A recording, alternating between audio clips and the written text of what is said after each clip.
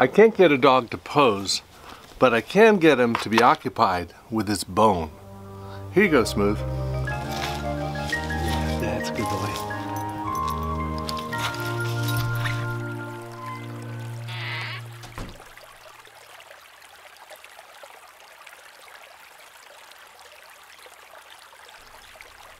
Now I'm going to set my homemade easel up at sitting height so I can be closer to Smooth's height when he's lying on the ground. And I'm using casein color, titanium white, yellow ochre, Venetian red, cadmium green, chromium oxide green, cad red scarlet, cadmium orange, ivory black, and I'll add some cobalt blue.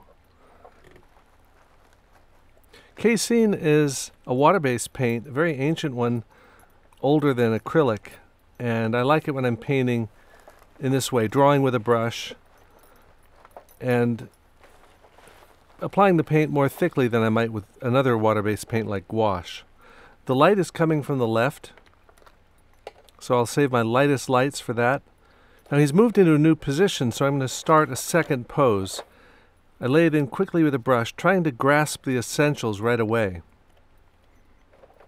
Now the background tones. I'm simplifying all the detail of those leaves on the ground. Now his light colored areas on his fur, the dark areas, how those shapes interact. I have black on the palette because I want to be able to get really profound darks. Whenever there's black as a local color in a subject, it's often good to have black on your palette. Now the eyes and the ears and the nose require the most attention and I put the most detail in those. I want to make it clear what he's doing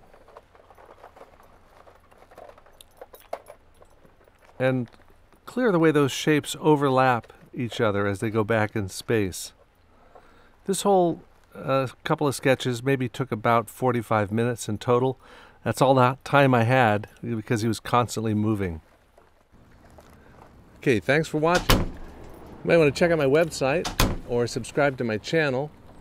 And then here's a playlist with more good stuff and a video that continues the story. So check them out and share with your friends.